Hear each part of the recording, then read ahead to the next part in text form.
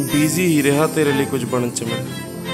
ਉਮਰ ਲੰਘਾਤੀ ਤੇਰੇ ਬਰਾਬਰ ਖੜਨ ਚ ਮੈਂ। ਤੇਰੇ ਮੇਰੇ ਸਿਰ ਅਹਿਸਾਨ ਬੜੇ, ਮੈਂ ਕਿਵੇਂ ਭੁਲਾਉਂਗਾ ਜੇ ਤੂੰ ਨਾ ਮਿਲੀ ਤਾਂ ਕੀ ਹੋਇਆ? ਕੁਝ ਬਣਤਾ ਜਾਊਂਗਾ? ਕੁਝ ਬਣਤਾ ਜਾਊਂਗਾ?